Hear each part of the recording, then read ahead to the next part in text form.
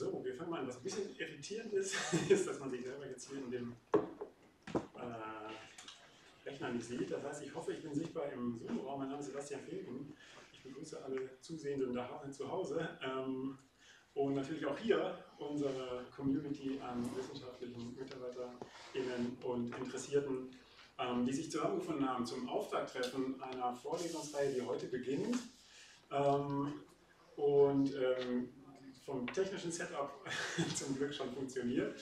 Ähm, und die inhaltlich äh, ein Feld so ein bisschen ins äh, Haus des DSM holen möchte, das international in den letzten Jahren ganz ja, produktiv ähm, ausgebildet wurde und ganz schöne ähm, ähm, Verdichtungen ähm, erfahren hat ähm, und das unter Begriffen läuft wie Ocean Humanities oder Blue Humanities. Wir als Deutsches Schifffahrtsmuseum haben uns gedacht, da sollten wir auf jeden Fall ähm, ein, äh, eine Rolle spielen in diesem Diskurs und wollen versuchen, hier mit ähm, einer Funktion, die wir haben zwischen Öffentlichkeit, zwischen ähm, maritimen naturwissenschaftlichen Forschungsinstituten und kulturwissenschaftlichen historischen Forschungen, genau diese äh, Schnittstelle vielleicht anzubieten und ähm, in dieser Vor Vorlesungsreihe Expertisen zu sammeln, neue Netzwerke aufzubauen, bestehende Netzwerke aufzufrischen und äh, gemeinsam sich diesem Forschungsfeld zu widmen und dort auch vielleicht genuin eine, eine weitere Verdichtung ähm, äh, herstellen zu können, die dem international laufenden Diskurs vielleicht noch eine spezifische regionale, überregionale ähm, aus unseren jeweiligen Wissenschaften, hier aus der ähm, äh, deutschen Wissenschaft oder aus dem deutschen Sprachraum, vielleicht dann auch nochmal ähm, als nicht äh, so sehr maritime Nation oder darüber definierte Nation äh, ganz genuine ähm, Stichworte liefern kann. Vielleicht auch nicht, aber das ist das, was wir als experimentelles Format hier probieren wollen.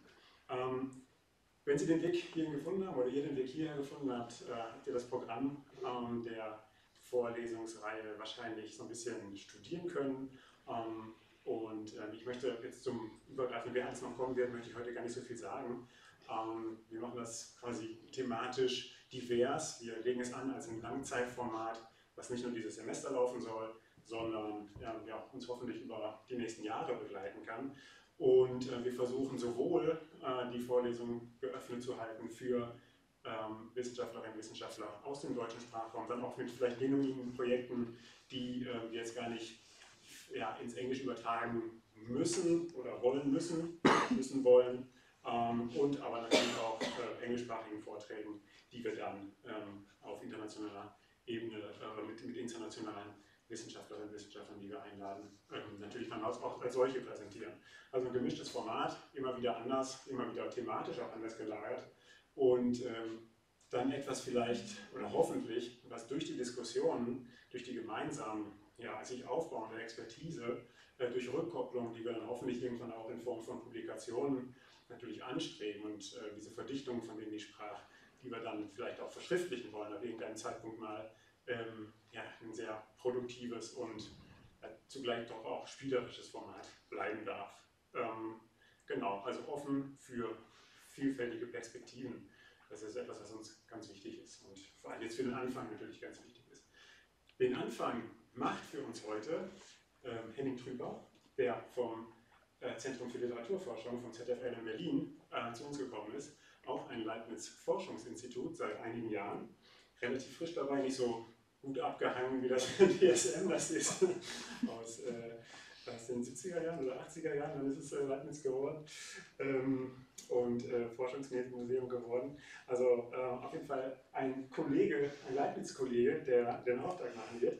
Ähm, Henning ist stellvertretender Direktor des ZFL und leitet Co, sagt man so, co-leitet den Programmbereich Theoriegeschichte und ähm, hat am ZFL seit 2020 ein ERC-Projekt, ähm, das ist ein äh, Consolidators Grant mit dem Namen Archipelagische Imperative, Schiffbruch und Lebensrettung in europäischen Gesellschaften seit 1800. Das ist auch so ein bisschen das Thema, für das du stehst, ähm, seit, äh, ja, nicht nur dem Projekt, es gab schon ein, ein Vorgängerprojekt, was sich mit dem Bereich Schiffbruch äh, und äh, Seenotrettung beschäftigt hat.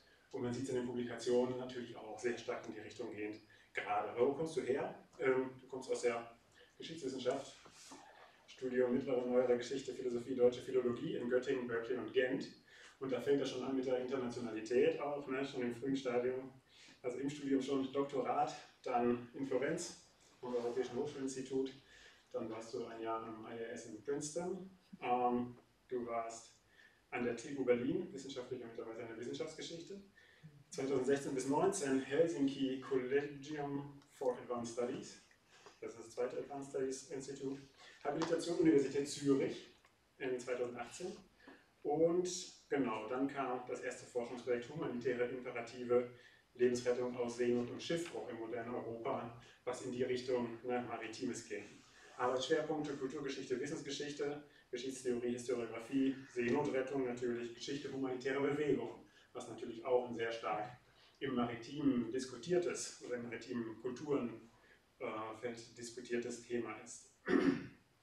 Großes Forschungsfeld, was noch dazu kommt, Geschichte der Philologie und des Orientalismus, wo äh, du mir im Vorgespräch gesagt hast, dass das natürlich auch, ne, was den global, globalen Aspekt oder global geschichtlichen Aspekt anspricht, äh, anbetrifft, ein großer ja, Öffner in Bezug auch auf maritime Kulturen, die äh, natürlich da auch eine Rolle spielen, aber äh, der Bezug zum Orientalismus äh, oder also diesen globalen ähm, Räumen überhaupt, ähm, da natürlich vielleicht auch der ältere oder ne, größere Diskurs oder sagen wir mal, ein wirkmächtiger Diskurs war und das Maritime sozusagen dann ein Anschlussthema ist, was man sehr schön finden kann. Publikationen gemeinsam mit Diva Chakrabarti in dem Zusammenhang auch. Ich möchte jetzt gar nicht auf alle Details eingehen. Ähm, ich nenne drei Aufsätze vielleicht, die sich mit dem Maritimen beschäftigen. Das orientalistische Feld quasi kann man nachlesen. Ist auch sehr schön auf der ZFL-Seite zusammengefasst alles. Ähm, die tollen Aufsätze und äh, Publikationen, die es dazu gibt, Monographie natürlich auch zum ähm, äh, Orientalismus. Ähm, Aufsätze allerdings, Inseln und Archipel, oder Insel und Archipel, 2022 erschienen. Dann ein Aufsatz Rettung der Toten vor dem Vergessen über Historisierung und Humanismus und Death and Death on History, Humanitarianism und Mortuary Culture ähm, auf Englisch auch erschienen. Es ist aber auch so, dass man eine Publikation findet, die zeigt, dass du nicht nur im maritimen Bereich an Crashes und anderem interessiert bist. Ähm, es gibt auch einen, äh, einen äh, Aufsatz, der da heißt Ikonologisches zum Verkehrsunfall und äh, woanders stattfindet, nämlich in einem Sammelband äh, zusammengefasst ist im Fuhrpark der Literatur äh, kulturelle Imagination des Automobils. Also ähm, Katastrophen- und Crash-Experte äh, in verschiedenen Bereichen. Einige Sachen sind noch im Erscheinen, was, was maritime Kontexte angeht. Ähm, wie gesagt, ich möchte gar nicht mehr der Vorrede äh, jetzt hier widmen, sondern dich endlich zu Wort kommen lassen. Henning Trüper, ganz herzlichen Dank, dass du dabei bist und äh, genau uns die Eröffnung äh, präsentieren wirst hier in unserer Themenreihe. Und herzlich willkommen. Und ich setze mich mal jetzt ins Publikum und übergebe den Platz hier am Pult. Ja, also herzlichen Dank, Sebastian, für die äh, freundliche Einführung. Ähm, und äh, ich freue mich auch sehr, hier sein zu können. Das ist äh, tatsächlich, ich habe jetzt gerade überlegt, das erste Mal, dass ich in meinem Heimatbundesland einen einen Vortrag halte, überhaupt einen Vortrag oder Herr Juhi.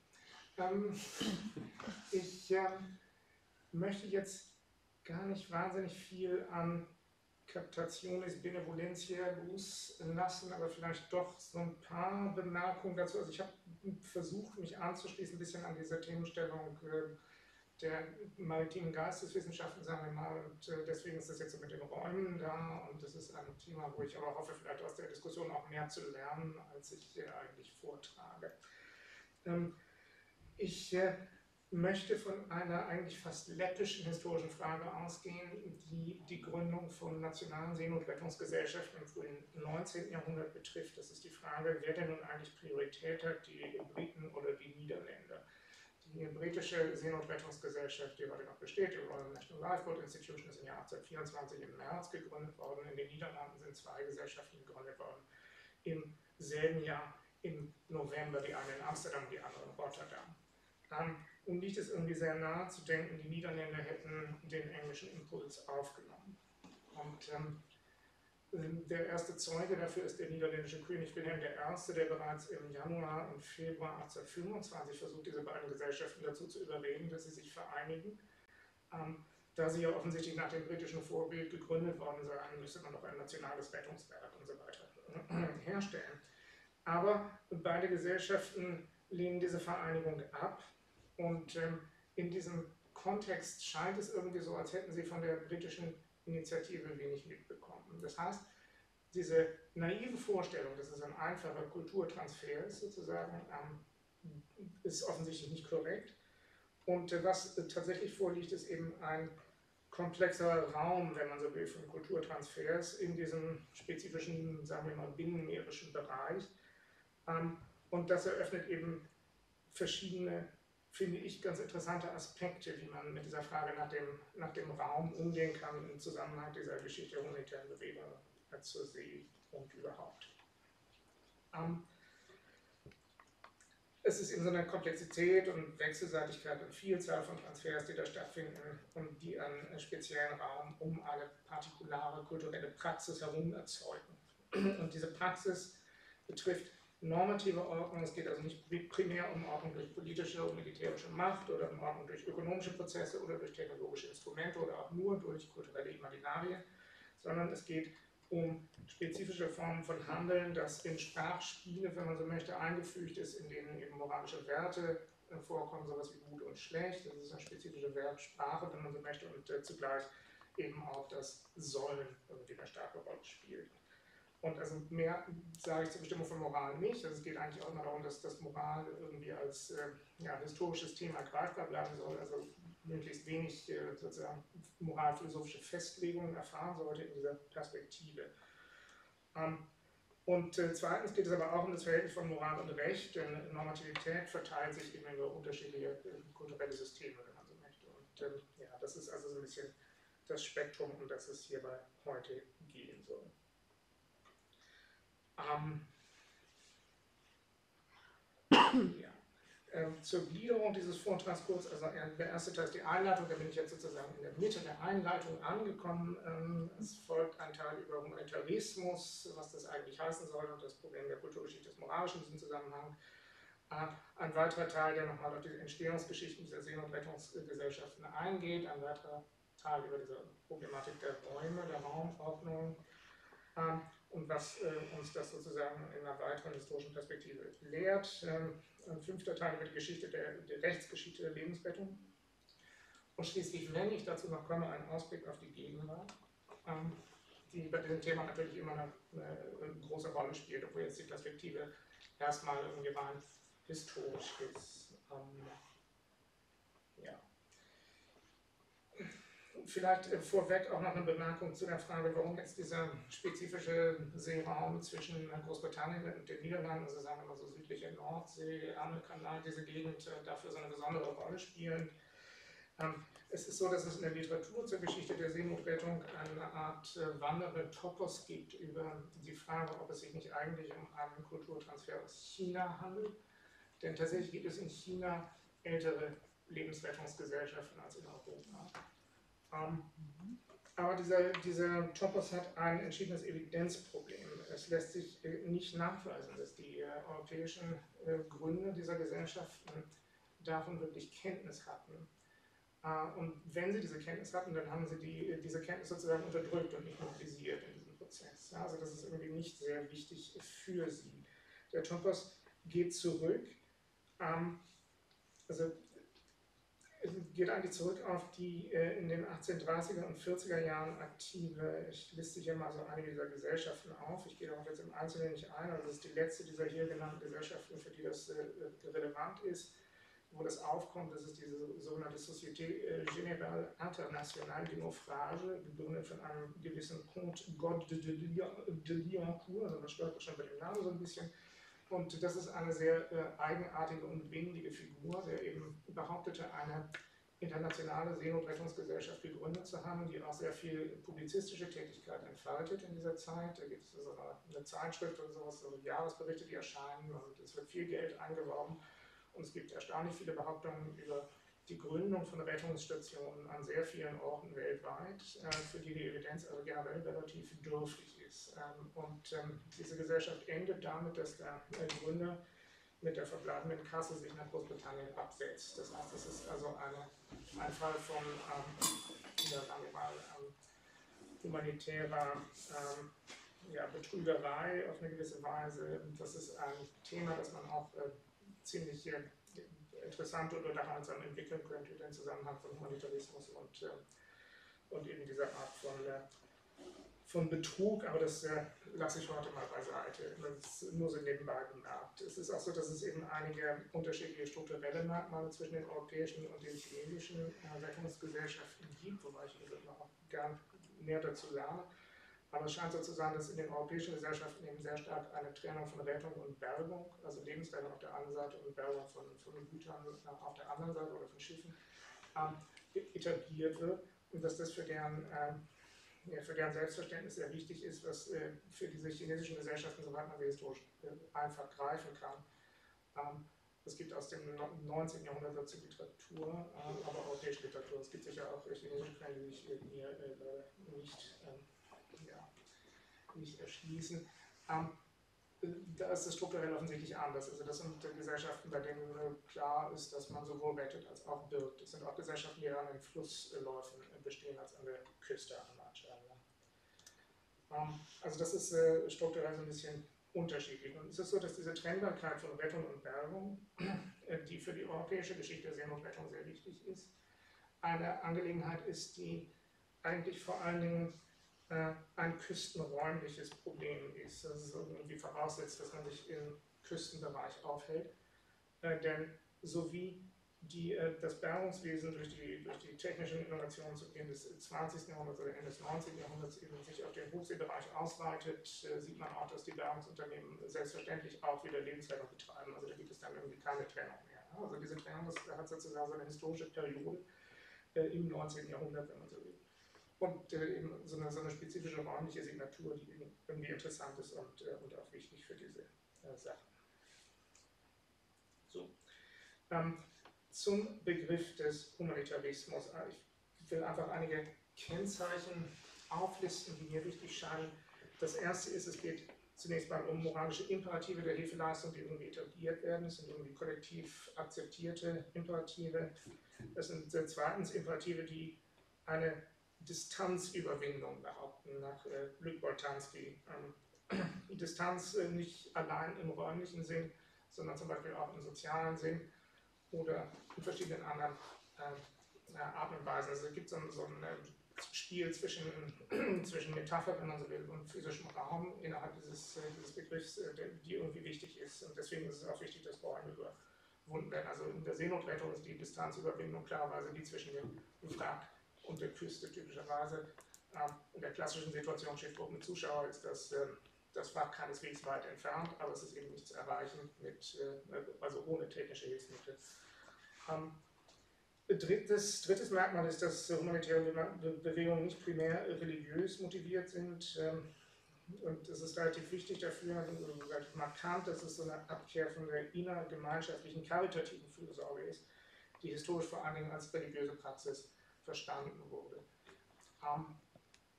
Ähm, also auch wieder hier in der Seenotrettung sieht man stark die, die universalistischen Imperative, man rettet ohne Rücksicht darauf, ob jemand zu einer Gemeinschaft gehört oder nicht. Äh, viertens, ähm, die Frage der Distanz ist auch immer eine Frage der Zeitbestimmung, ähm, denn die Distanz ist vorher unüberbrückbar und wird jetzt überbrückbar gemacht. Also es ist so eine so eine Zeit, äh, Zeitlichkeit, die hier etabliert wird, wo ganz stark auf die Umkehr gesetzt wird in diesem Gründungsmoment der humanitären Bewegung.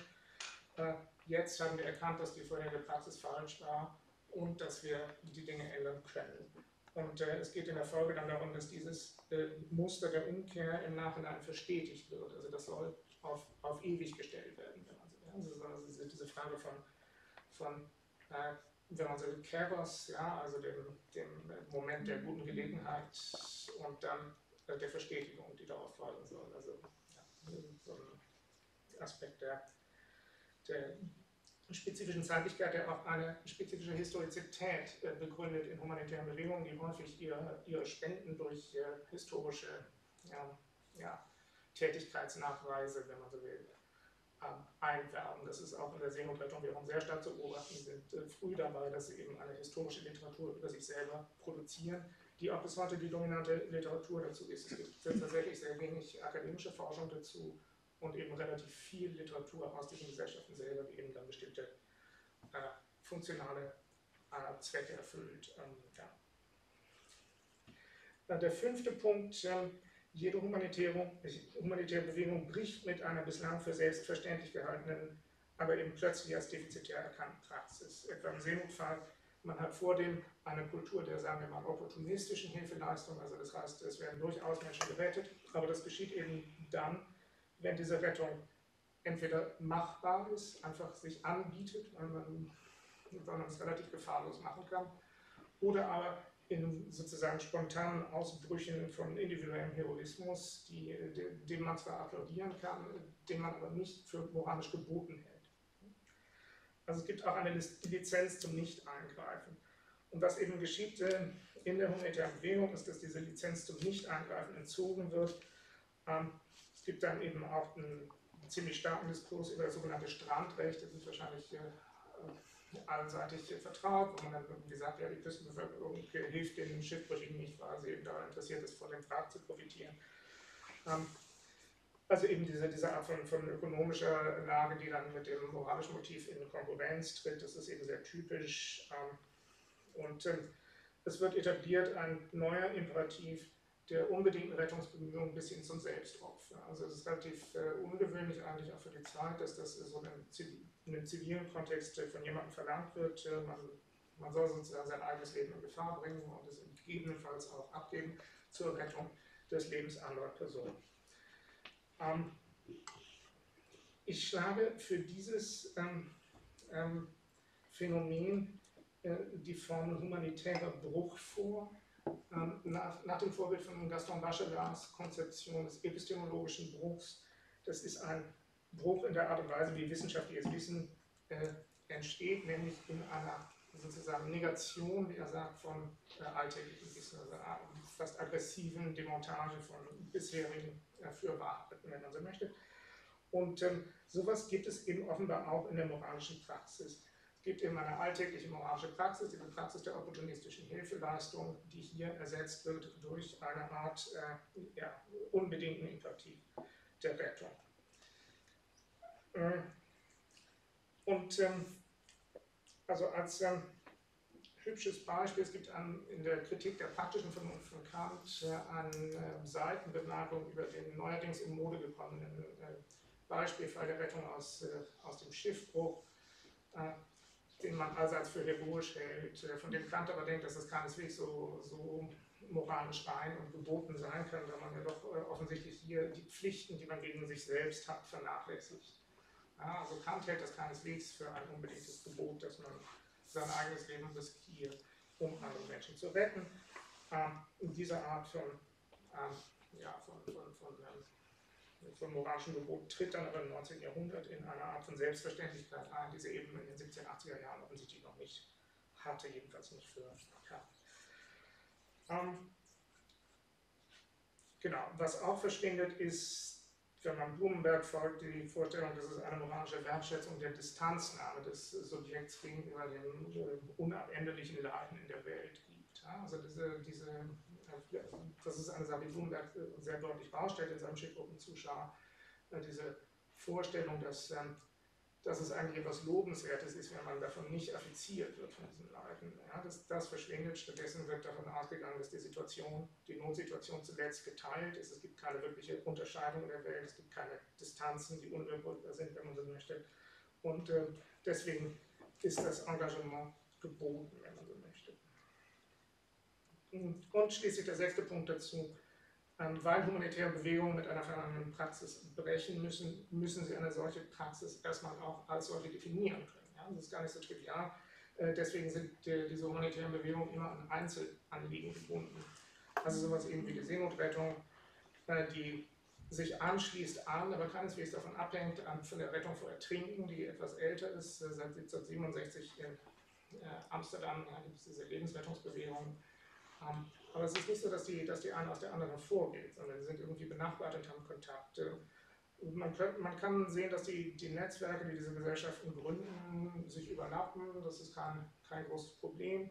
Man sieht zum Beispiel dieselben Leute, die die Seenotrettung begründen, im selben Jahr 1824 auch in der ersten Tierschutzbewegung in Großbritannien äh, auftauchen. Ähm, und natürlich die, die, älteste der humanitären Bewegungen ist die Anti-Sklaverei-Bewegung, die abolitionistische Bewegung, die ähm, ähm, äh, eben interessant ist in ihrer Verbindung mit der, mit der Seenotrettungsbewegung auch, weil auch da wiederum in Großbritannien, das ist, ja, das ist dasselbe Milieu, man sieht im selben Raum dieselben Personen. Nur interessanterweise ist es nicht so, dass das eben geschlossene Milieus bildet, in dem Sinn, dass die an diesen Bewegungen hängen, sondern es ist einfach ein Oberschichtmilieu, das verschiedene Bewegungen stützt. Ja? Und man sieht also, dass zum Beispiel einer der größten Förderer der Seenotrettung, der hier rechts abgebildete George Hibbert gewesen ist, ähm, der als Anti-Abolitionist aufgetreten war, ähm, der größten Plantagenbesitzer dieser Zeit und auch größten Sklavenhalter, der eben zentraler Förderer des Seenotrettungswesens gewesen ist. Ähm, der befindet sich aber im selben Raum wie der Erzabolitionist wie William Wilberforce. Ähm, also da gibt es keine Konflikte in dieser Hinsicht, ähm, sondern man kann sich für diese unterschiedlichen Anliegen engagieren äh, und ähm, ja, das, äh, das sind einfach unterschiedliche Dinge. Ne? Also das äh, demonstriert so ein bisschen dieses, diesen, diesen Aspekt mit den Einzelanliegen. Ähm, jetzt, ah, da es doch. Ja, also zur Gründungsgeschichte dieser ältesten europäischen Seenotrettungsgesellschaften, sogenannten. Ähm, die Standardversion der Entstehung der später sogenannten Royal National Lifeboat Institution ist diese gibt ein isoliertes Pamphlet im Jahr 1923 von einem gewissen William Hillary, ein Schuldflüchtling auf der Isle of Man, also ein weiterer äh, humanitärer Bankrotteur und äh, beinahe Betrüger. Ähm, dieses, äh, dieses Pamphlet äh, spricht äh, zugunsten der Errichtung eines nationalen Systems für Rettungsboot- und Rettungsnauserstationen an der gesamten britischen Küste. Und äh, das führt dann zur Gründung dieser, dieser Rettungsgesellschaft tatsächlich ohne seine aktive Beteiligung ähm, in London im März 1824. Ähm, Im Gründungsumfeld dieser Gesellschaft ist eben die Beteiligung sogenannter höchster Kreise sehr auffällig. Es ist sehr viel Hochadel, sehr viele von den prominentesten Kaufleuten dieser Zeit ähm, und das äh, Marinemilieu äh, im hohen Offizierskorps sind da sehr stark vertreten. Auffällig, wie gesagt, dieser Punkt, dass sowohl die Abolitionisten anwesend sind als auch ihre Gegner, das äh, habe ich schon bemerkt. Ähm, die Gesellschaft zielt auf eine umfangreiche Patronage und Unterstützung im Adel und bei Hof äh, und richtet sich in gewisser Weise vor allen Dingen an eine höfische Öffentlichkeit, könnte man sagen. Also das ist tatsächlich noch recht, äh, recht vormodern. Es geht gar nicht so sehr darum, dass man in der nationalen Zeitungsöffentlichkeit, die auch schon besteht, äh, große Wirkung erzeugt, sondern es geht wirklich um diese, um diese Kreise äh, um die Regierung herum. Ja, und das betrifft dann eben auch den Hof in Großbritannien zu dieser Zeit.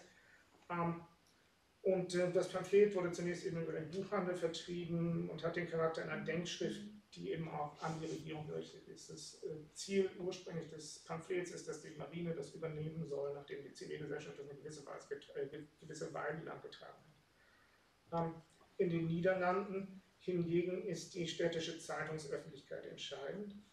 Ähm, da gibt es nur knappe Gründungsaufrufe in der Presse und ähm, dann ist irgendwie offenbar die, die, Netzwerkstruktur so dicht, dass es ausreicht, um diese Gesellschaften ins Leben zu rufen, sowohl in Amsterdam als auch in Rotterdam. Der Anlass für beide Gründungen ist ein Schiffsunglück im Oktober 1824 an der Nordspitze von Holland ähm, bei Den Helder. Ich weiß nicht, ob das auf dieser Karte erkennen kann. Das ist halt, ich zeige eine historische Karte wegen der starken Küstenveränderungen in den Niederlanden. Das sieht heute alles sehr anders aus, bekanntlich. Ähm, die, ähm, dieses, dieses Unglück bestand daran, dass, äh, dass also eben freiwillige Retter zu einem Schiff hinausfuhren und der erste Rettungsversuch eben erfolgreich war. Sie brachten also Leute zurück ans Ufer und dann fuhren sie nochmal raus, um den Rest zu holen und dabei sind sie dann eben äh, gekentert und ertrunken. Ähm, und das führt eben zur Gründung dieser, dieser Rettungsgesellschaften. Das Amsterdam-Projekt betrifft zunächst mal, das ist das erste dieser Projekte, das ist, ich glaube, 7. November mm, und äh, das andere folgt dann zwei Wochen später. Ähm, das Amsterdamer Projekt betrifft tatsächlich nur die Einfahrt nach Amsterdam, deswegen auch die Karte, äh, damit man das einmal kurz nachvollziehen kann. Es geht eigentlich darum, dass man von Hoek van Holland ähm, die Gegend, also die gesamte nordholländische Küste abdecken will und dann eben die äh, Westküste der Zuiderzee, also eben die Einfahrt nach Amsterdam. die in der Tat auch äh, nautisch, äh, sagen wir mal, anspruchsvoll ist zu dieser Zeit. Also das ist so eine, Westküste, die, die halt immer die, die Lee-Küste ist und so weiter. Also mit dem Segeln ist das irgendwie schwierig und so weiter. Man, man hat Probleme. Und die Rotterdamer fühlen sich natürlich dadurch sozusagen ähm, provoziert, weil es ihre, ihren Konkurrenzhafen sozusagen nicht betrifft. Und sie gründen also eine Gesellschaft, die wiederum die Anfahrt nach Rotterdam sichern soll, nämlich also diese, diese Delta-Küste, die man hier unten im Ausschnitt sieht, ähm, die äh, aber natürlich eine andere Struktur hat. Ähm, es gibt dann äh, sehr schnell eskalierenden Konflikt zwischen beiden Gesellschaften. Die Amsterdamer sind äh, extrem beleidigt, dass ihnen die Rotterdamer den, äh, den, Inspekteur des Lotsenwesens in Hoek van Holland abwerben für ihre Gesellschaft, der sich eben mehr für diese südliche Seite zuständig fühlt. Ähm, und deswegen unter anderem, vor allen Dingen deswegen aber auch, wenn man sich ein bisschen plagiert fühlt von den Rotterdamern, spricht man dann eben mehrere Jahrzehnte nicht miteinander. Also einer der Gründe dafür, dass sie auch diese Vereinigung ablehnen.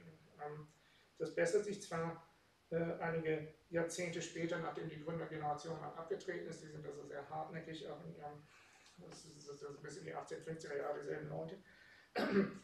Aber die Vereinigung dieser beiden Gesellschaften hat tatsächlich erst 1991 stattgefunden. Also ja, das sehr hartnäckige institutionelle Strukturen.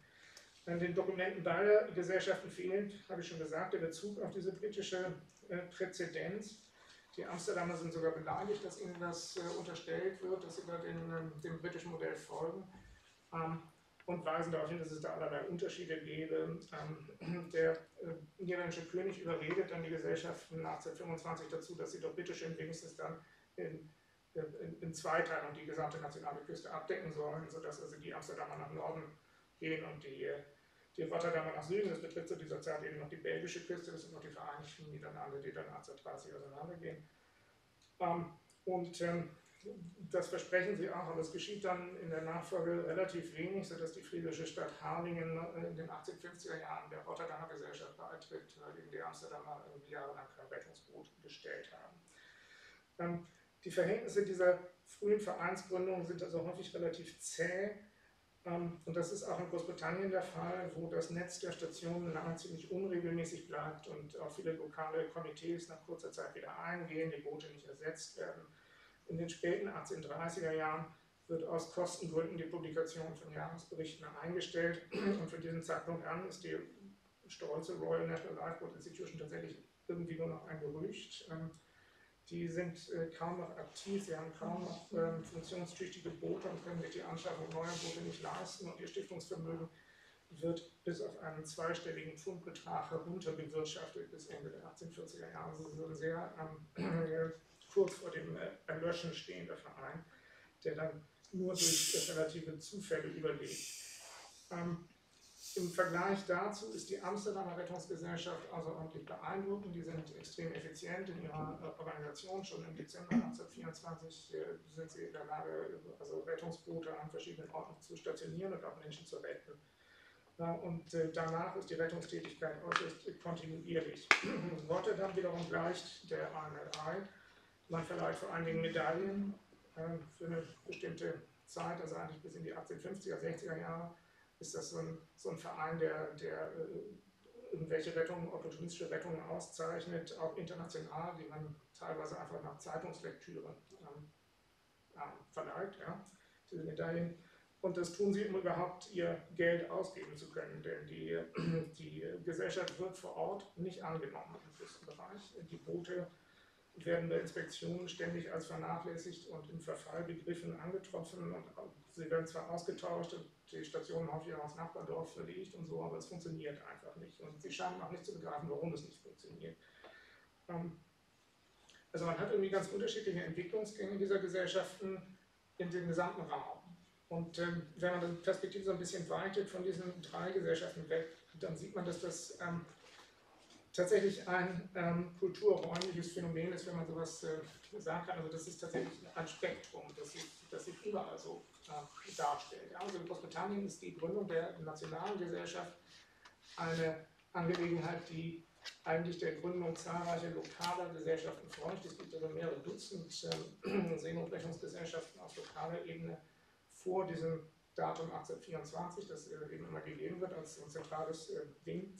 Und ähm, diese Gesellschaften nehmen häufig sehr ähnliche Entwicklungen, wie man das eben auch in den niederländischen, äh, in den niederländischen Fällen beobachten kann. Manche funktionieren irgendwie relativ gut, andere brechen irgendwie wieder ab.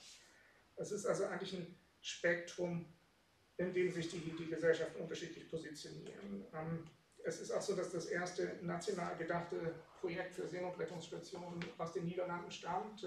Es besteht aber nur in Papierform. Es taucht da irgendwo in den Akten auf. Es stammt aus dem Jahr 1719. Also es ist tatsächlich eine sehr viel ältere Idee in gewisser Weise, die sich da äh, manifestiert. Ähm, und äh, was man allerdings sagen kann, ist, die, dass die nationale Ausdehnung in den 1820er Jahren letztlich schon entscheidend gewesen ist, weil es die äh, Gesellschaften stabilisiert. Das nationale Motiv ist extrem wichtig dafür, ähm, eine ja, institutionelle Stabilisierung zu erreichen, die auf lokaler Ebene wieder und wieder nicht funktioniert. Ähm, es ist auch ein Phänomen, das von diesem, ähm, ja, von diesem Raum eigentlich irgendwie ausstrahlt, ja, wenn man so will. Also in den 1780er Jahren werden die ersten für den Zweck konstruierten Rettungsboote in, Großbritannien hergestellt und die werden tatsächlich auch europaweit vermarktet. Und es gibt tatsächlich in vielen Orten in Europa in dieser Zeit dann eben, ähm, ja, werden so Häfen oder so angeschafft und äh, werden für eine Weile unterhalten, aber eben nicht auf Dauer. Ähm, also das heißt, ähm, ja, es gibt, äh, gibt da irgendwie äh, eine kulturelle Praxis, die, die weiter ausstrahlt von diesem, von diesem Raum. Man kann außerdem auf Lebensrettung überhaupt als Frage des kulturellen Transfers äh, verweisen. Auffällig in der Geschichte von Lebensrettungsunternehmungen in Europa äh, ist die Fokussierung auf die Rettung Ertrunkener oder Ertrinkender. Ja, das ist äh, eben diese Amsterdamer Lebensrettungsgesellschaft von 1767, die in England 1773 äh, nachgeahmt ist die heutzutage noch relativ berühmte Royal Humane Society da, die daraufhin zurückgeht. In Hamburg gibt es das schon 1769 und es greift auch nach Nordamerika über. Also diese, diese Lebensrettungsbewegung ist, ist relativ, äh, äh, ja, eben so, so, ein Transferphänomen, das sich relativ schnell ausbreitet. Und es gibt da relativ ähnliche institutionelle ähm, ähm, Aspekte, also man verteilt irgendwie Lebensrettungsmedaillen, man verteilt auch bescheidene Prämien es ist institutionell und technisch eigentlich wesentlich weniger äh, anspruchsreich als die, als die Seenotrettung. Und äh, es ist auch in der Zeit so, dass das als unterschiedliche Aufgaben ja, betrachtet wird, wie dieses Beispiel der äh, Gesellschaft in Boulogne-sur-Mer äh, belegt, wo, wo es eben darum geht, eine Société Humaine zu haben, also eine Lebensrettungsgesellschaft wie die Humane Society, und äh, zugleich eine Société Humaine et de Naufrage, also und der Schiffbrüche. Also, und das Und ist eben hier wichtig. Man sieht, das sind zwei verschiedene Sachen, obwohl man am Ende dieselben Leute hat, die das betreiben, aber es sind zwei Zwecke. Ähm, was auch auffällig ist, ist, dass es in den 1770er Jahren bereits eine gesetzliche äh, Beförderung der Lebensrettung gibt in verschiedenen europäischen Staaten. Also es ist keineswegs so, dass sich das nur auf diesen, auf diesen maritimen äh, Raum beschränkt, aber auch da gibt es immer die Rettung für Ertrinken. Diese staatliche Förderung, ich komme darauf nochmal zurück, findet man unter anderem in Preußen, in Sachsen, in Österreich und in den 1800ern auch in Frankreich. Ähm, dann gibt es äh, verschiedene moralökonomische Mischlagen, wie man sagen könnte, die auch an vielen Orten ähnlich äh, liegen. Als Beispiel vielleicht die Frage des Seeversicherungswesens und seiner Beteiligung an der äh, Lloyds of London äh, stiftet schon seit ca. 1805 Rettungsboote an billige Ortschaften. Es gibt in den 1820er Jahren etwa 20 äh, Rettungsboote, die von Lloyds äh, gestellt werden. Das ist ursprünglich eine Image-Kampagne. Ähm, eine Image-Kampagne während der Napoleonischen Kriege, als Lloyds vorgeworfen wurde, auch die französische Marine versichert zu haben. Ähm, dann investiert man eben in die Lebensrettung, um auch um zu zeigen, dass es also andere Interessen gibt als nur das Geld, das man aus den Versicherungen ziehen kann. Es gibt also auch hier die moralischen Werte, die man, die man da äh, sozusagen ostentativ ähm, ja, ja, realisieren kann. Ähm, es ist aber auch so, dass es ein ökonomisches Interesse der Versicherung an der Seenotrettung gibt, äh, das zwar nicht daran liegt, dass jetzt irgendwie Seeleute gerettet werden, denn die waren nicht äh, irgendwie versichert. Ähm, äh, es äh, hilft bei der Überwachung von Unglücken an der Küste, ähm, wo das typische Schema des Versicherungsbetrugs daran besteht, ähm, der, also kurz vor der Abwrackung bestehendes Schiff eben stranden zu lassen, um die Prämie zu kassieren. Und das äh, lässt sich sozusagen leichter belegen, wenn Rettungsgesellschaften vor Ort über diese Situation berichten. Ähm, es gibt außerdem unter den kulturellen Praktiken, die da irgendwie eine Rolle spielen, gibt es bestimmte gemeinsame Formen des Vereinswesens und seiner Verschriftlichung. Ähm, auch darüber werde ich jetzt nicht viel sagen, aber es ist nur so als Hinweis äh, auch äh, in Richtung des, der, der, Einladenden sozusagen. Es gibt ja eine medientheoretische Seite, die man, die man durchaus bespielen könnte. Es gibt äh, die Art und Weise, wie Buch geführt wird, wie Protokoll geführt wird. Ähm, also das Sitzungsprotokoll des, des Vereins ist tatsächlich eine kulturelle Form, über die man sich äh, Gedanken machen kann weil es unter anderem sehr viel Kontinuität stiften kann, ähm, da das äh, äh, Protokoll immer über das vorige Protokoll zunächst berichtet. Ähm, also das ist, äh, das hat so eine, so, eine, Logik der Fortsetzung, wenn man will. Ähm, und ähm, was es eben auch äh, gibt, ist, dass es auf bestimmte rechtskulturelle Formen verweist des Vereinswesens. Also die Vereine sind ähm, vom Souverän gestiftete Rechtspersonen. Das ist ein äh, in Europa verbreitetes Muster. Die äh, Deutsche Rettungsgesellschaft Schiffbrüche ist interessant, in dieser Hinsicht ist ein altrechtlicher Verein, also ein Verein, der vor der Einführung des bürgerlichen Gesetzbuchs und sogar vor der Reichsreinigung gegründet worden ist, äh, nach Akt äh, des Bremer Senats, dem Verein die, den Charakter einer Rechtsperson verleiht. Und das ist sozusagen das Gründungsdokument. Und ein altrechtlicher Verein bedeutet, dass sie bestimmten Zwängen, die Vereine nach dem bürgerlichen Gesetzbuch äh, erfüllen müssen, nicht erfüllen müssen. Also sie müssen nicht ihre Finanzen in derselben Weise offenlegen und solche und sie müssen auch nicht ihre Gemeinnützigkeit nachweisen. Ähm, diese, diese Aspekte zum Beispiel äh, sind, sind so, so interessante so, ja, rechtshistorische Relikte, die darauf verweisen, wie wichtig das ist. Und es ist eben auch eine, eine, ja, eine Rechtsform des Privilegs, die letztlich relativ wichtig ist in diesen Gesellschaften, die da immer auch ja, so, so, eine Art Rechtskultur mit sich bringt. Also die Medaillenverleihung ist sowas ähnliches wie die Privilegierung. Es gibt eben viel äh, Richtung auf den Souverän hin äh, durch, diese, durch diese hergebrachte Struktur, ähm, die äh, auch darin mündet, dass alle diese Gesellschaften königliche Patronage annehmen. Die äh, einzige, die das lange Zeit nicht tut, ist interessanterweise die Amsterdamer Seenotrettungsgesellschaft, die ähm, offensichtlich zu ihrer Gründungszeit aus hartleibigen Republikanern bestand. Ein weiterer Grund, weshalb sie den niederländischen König nicht gehorchen. 1825. Ähm, also kurz zusammengefasst, es geht eigentlich eben um so kumulative, äh, äh, kumulative Effekte innerhalb von so, ja, von so, einem, von so einem räumlichen Gebiet, ähm, die dieses Gebiet auch in gewisser Weise von gemeinen europäischen Umständen absondern, wo es auch damit verbindet. Und äh, innerhalb dieses Spektrums äh, gibt es eben diese unterschiedlichen Entwicklungen, auf die ich schon hingewiesen habe.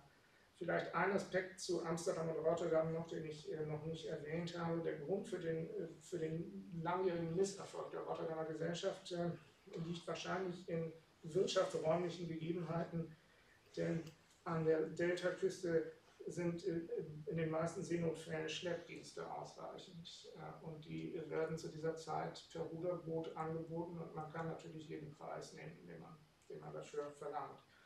Äh, also diesen Preis bekommen, den man dafür verlangt.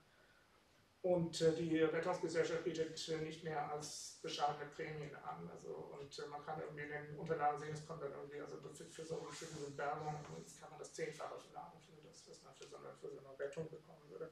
Und das ist wahrscheinlich einer der ökonomischen Gründe dafür, dass das da nicht funktioniert. Ähm, es hat so eine gewisse Ironie, weil die Torhäufe, die ich spreche aber schon nach. Ah, ja, ja. Lange geht's denn noch? Geht auch lang. Aber ich werde mal versuchen, ein bisschen, ein bisschen abzukürzen. Okay. Ähm, gut, also genug zu diesem Aspekt. Ähm, äh, genau, jetzt vielleicht nochmal zu, zu dieser Frage des Raums. Ähm,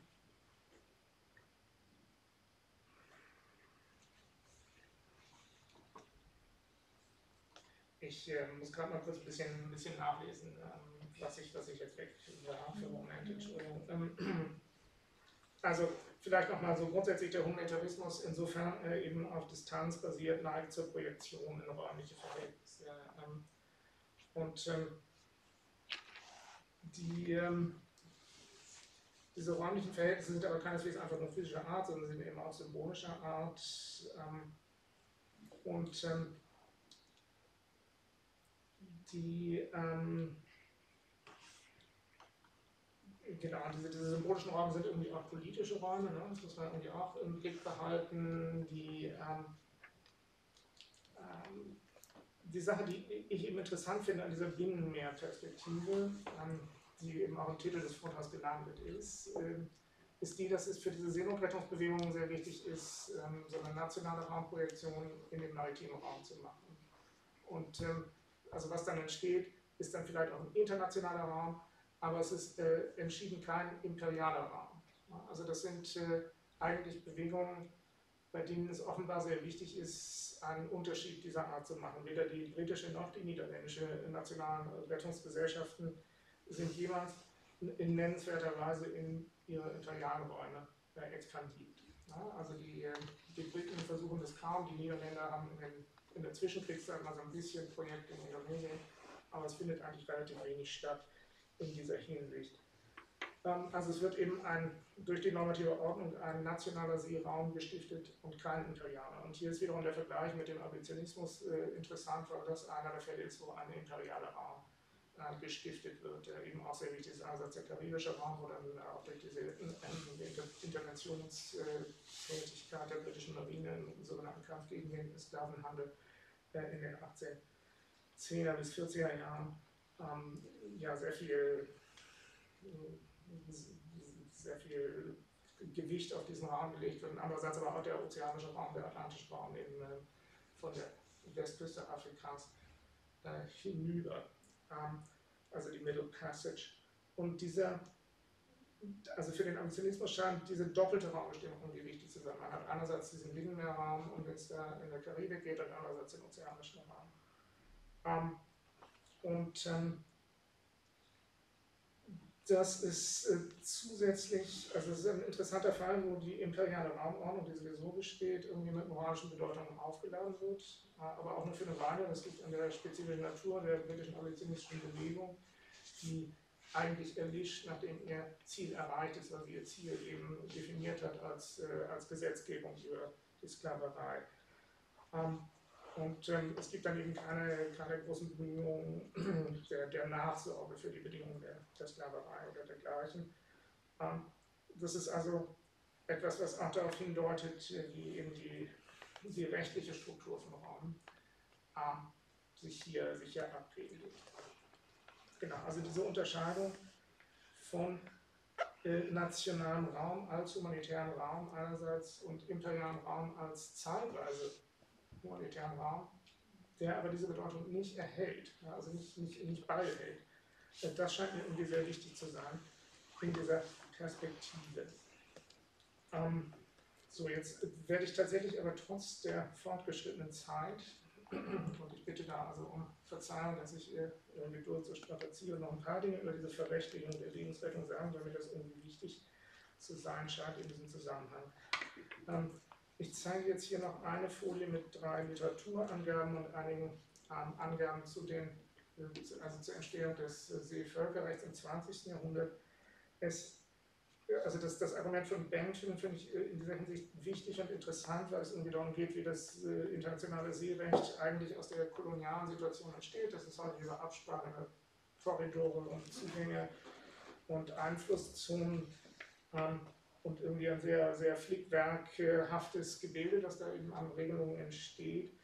Ähm, es gibt bei Maria Fusaro dann eine Art Gegenargument. Sie verweist auf die rechtshistorische Gestaltungskraft der rein europäischen Verhältnisse in den Handelsbeziehungen, insbesondere auf das Prinzip der Avarie grosse oder General Average im Englischen oder aber auch äh, große Haverei im Deutschen.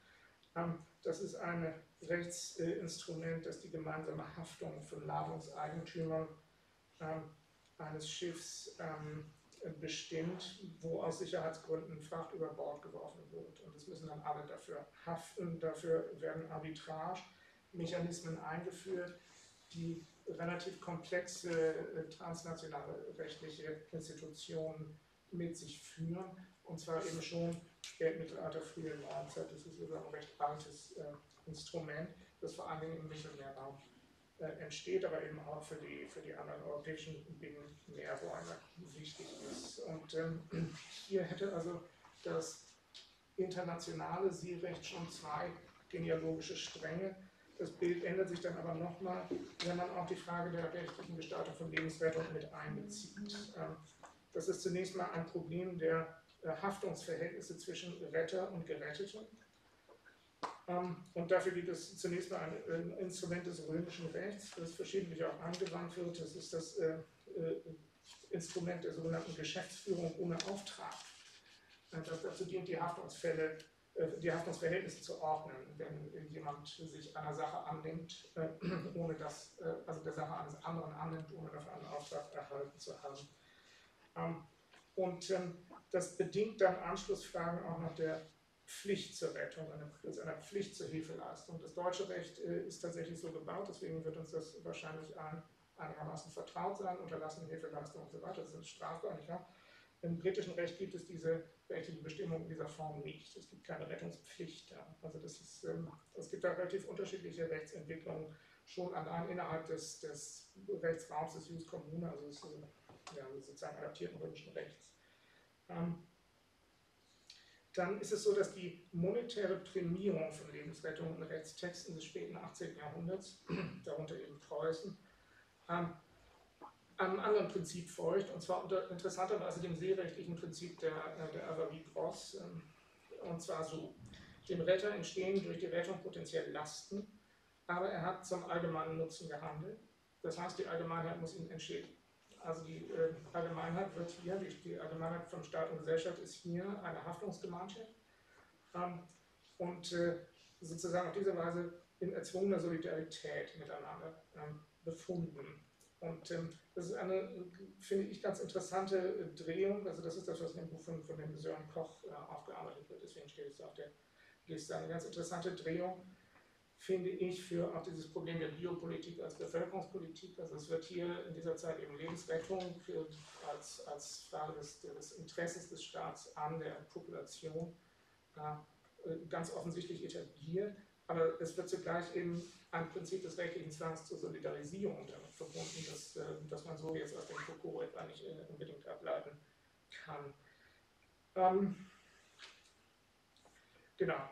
Und ähm, im gesamten 19. Jahrhundert wiederum gibt es dann noch eine weitere Traditionslinie, die irgendwie wichtig ist, das ist die naturrechtliche äh, Linie, wo in der seerechtlichen Literatur des 19. Jahrhunderts generell gesagt wird, die Rettung Schiffbrüchiger ist eine Frage des Naturrechts, darüber kann das positive Recht keine Auskunft geben, das muss es nicht regeln und kann es nicht regeln. Ähm, und diese, diese äh, Tradition wiederum ist, ähm, ist äh, eben ja, interessant für, für, auch für mein Projekt in gewisser Weise, weil es bedingt, dass die humanitäre Lebensrettung tatsächlich das dominierende Prinzip bleibt bis ins 20. Jahrhundert. Es wird erst in dieser Brüsseler Konvention von 1910 eine Rettungspflicht für Schiffsführer festgelegt, und zwar erstmals in, der, in den internationalen Rechtsbewegungen. Und seitdem besteht diese Vorstellung, dass eben die Schiffsführung zu retten hat, und, äh, sofern keine eigene Gefahr besteht. Äh, und zwar ausdrücklich auch im Kriegsfall die Rettung feindlicher Schiffsbrüchiger. Ähm, diese Qualifikation ähm, ist interessant, nicht nur, weil sie diesen Naturrechtsanspruch in einen Rechtstext übersetzt und also im, im Seerecht ein quasi Menschenrecht auf Rettung schafft, also ein ganz eigenartiger äh, rechtsgeschichtlicher Fall, wenn man so möchte. Äh, ist auch interessant, weil derselbe Paragraph auch das Verhältnis von Rettung und Bergung regelt. Ähm, denn es wird bestimmt, äh, dass die, äh, derjenige, der Leben rettet, keinen Anspruch auf Entschädigung hat, aber Anspruch auf Beteiligung am Bergung, falls andere das Schiff retten. Also das ist ähm, ähm, ein, ein, klarer Fall, wo der, wo der Rechtsdiskurs diese Trennung übernimmt. Und das Interessante scheint mir, dass diese Trennung wiederum aus dem humanitären Diskurs stammt. Die stammt nicht aus dem Naturrechtsdiskurs, wo sie nicht steht, sondern sie stammt aus der humanitären Praxis der Rettungsgesellschaften, die das so äh, etabliert hatten. Genau. Ähm, und ähm, diese Verrechtlichung ähm, signalisiert, dass das Recht in gewisser Weise beständig daran arbeitet, sich an Gegebenheiten anzupassen, die außerhalb seiner entstehen, also eben die koloniale Machtpolitik, die ökonomischen Praktiken, ähm, das Naturrecht in gewisser Weise als philosophischer Diskurs und aber eben auch einfach die moralische Sprache des Humanitarismus. Ähm, die Anpassungsleistungen, die das Recht unternimmt und die es hervorruft, sind keineswegs harmlos, es verändert auch Dinge in der humanitären Praxis. Und das wäre jetzt der Punkt, wo ich auf die Gegenwart noch käme. Und ähm, ja, vielleicht äh, nur drei Worte dazu. Und dann, also es, ich finde es eben auffällig, dass in der, in der uns allen bekannten äh, Situation, in der äh, mediterranen, insbesondere Seenotrettung, sich diese, diese drei größeren Rechtsgenealogien, wenn man so möchte, abbilden. Es gibt einerseits die naturrechtlich, menschenrechtlich und humanitär begründete Rettungspflicht, die im Diskurs einerseits irgendwie stark vorhanden ist und auch in der Praxis. Äh, es gibt zweitens eine komplexe rechtliche Raumordnung, die eigentlich den Prinzipien entspricht, wie koloniale äh, maritime Räume geordnet worden sind in der Vergangenheit. Also man bestimmt Zuständigkeiten und es gibt dann auch viele Definitionen davon, was jetzt die, die Lücken zwischen den Zuständigkeiten sind und man sieht eben diese Praxis der Pushbacks und Pushforwards, wenn man so möchte, ähm, ja, also die, wo man halt irgendwie versucht, die, die territoriale Zuordnung von Gewässern irgendwie auszunutzen, um nicht retten zu müssen. Ähm, und es gibt drittens auch noch äh, Konzepte der Haftungsgemeinschaft, die man in Europa heutzutage vor allen Dingen in den gemeinsamen europäischen Mechanismen abtrifft, äh, wo es wiederum geht, äh, Lasten zu verteilen, Haftung zu verteilen, wenn man so möchte, und äh, auch die Versorgung irgendwie zu verteilen. Und ähm, ich glaube, dass man relativ weit kommt, wenn man, wenn man sich sozusagen diese Genealogie der rechtlichen Verhältnisse vor Augen hält und auch der moralischen Verhältnisse, was man eben auch beobachten kann, hier als letztes Bild nochmal das, äh, ist die Entstehung neuer humanitärer Bewegungen, insbesondere im Mittelmeerraum, zur Rettung Schiffbrüchiger. Aber so eben interessant ist, dass das Einzelanliegen der Seenotrettung hier zerbrochen ist. Das heißt, es gibt sozusagen in Anführungszeichen historisch normale Seenotrettung, die im Mittelmeer auch stattfindet, und es gibt diese neue Seenotrettung, die sich nur auf die Rettung von äh, Geflüchteten und äh, Migranten äh, bezieht. Ja, und das, das sind, äh, glaube ich, so ein bisschen ja, Perspektiven, die sich aus dieser historischen Betrachtung auch ergeben können die bestimmte Dinge zu erklären ich breche mal hier ab und äh, bedanke mich.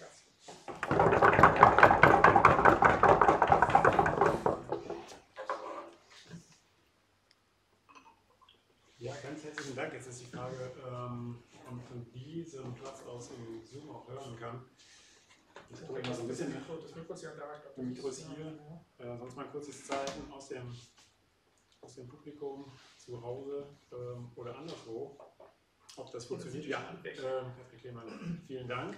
Dann kann ich ja sitzen bleiben. Ja, und ähm, bedanke mich ganz herzlich, ähm, Herr Mitrucker, für, für diesen ähm, ja, sehr vielschichtigen, historisch ähm, auch einen interessanten und gar nicht so fernen Ort anknüpfenden Raum, äh, äh, äh, den du uns hier eröffnet hast. Und natürlich mit einem letzten Bild, was uns sehr stark affizieren mag, ähm, ein bisschen eine Diskussion anspricht, natürlich, die hochbrisant ist und uns ja eigentlich ständig in den Nachrichten begleitet. Die Diskussion ist eröffnet, ähm, sowohl im Hinblick auf aktuelle oder aktualitätsbezogene und auf ähm, historische Fragestellung.